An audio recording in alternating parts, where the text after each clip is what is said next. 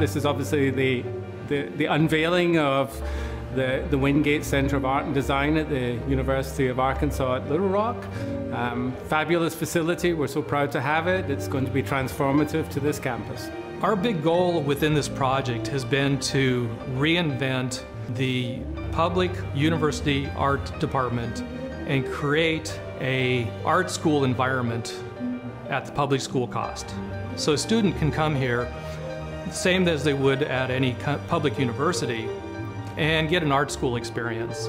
The facilities are unbelievable. They didn't forget anything. It's fantastic not only for the arts community and for uh, the students that are in the space, but for the city itself. I think that it will definitely bring more people here to UA Little Rock. It's definitely going to make the capital city uh, more attractive. This will allow students to become nationally recognized, maybe internationally recognized. I'd be lying if I didn't say I was a little bummed that I, I missed getting to to um, go to school in this building. It's exciting for all the, the new and upcoming students. Um, it's a definite upgrade. Our faculty are very invested in their students.